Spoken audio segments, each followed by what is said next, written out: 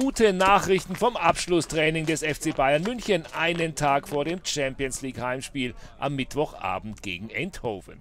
Bis auf Franck Ribéry haben sich alle verletzten Spieler zurückgemeldet und wollen morgen zumindest im Kader stehen. Heute mh, mm, alle Spieler trainiert. Äh, Vidal, äh, Douglas Costa, Bernat und äh, Martinez. Gut trainiert. Äh, sie kommen äh, äh, heute Abend ins Hotel. Nur Ribéry ist aus der Mannschaft. ich entscheide morgen die Aufstellung und die Bank.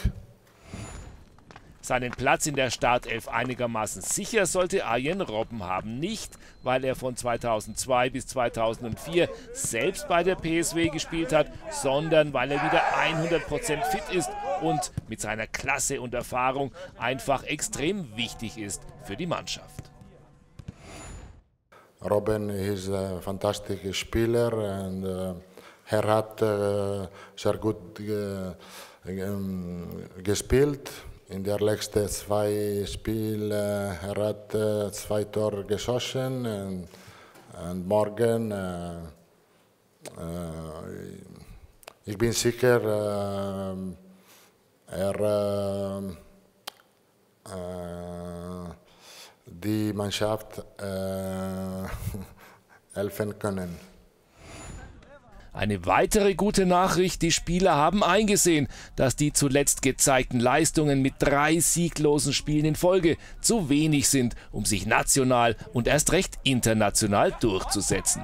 Deutliche Reaktionen wurden schon in den Trainingseinheiten nach Frankfurt gezeigt und sollen morgen Abend auch im so wichtigen Champions League Gruppenspiel gegen Eindhoven umgesetzt werden.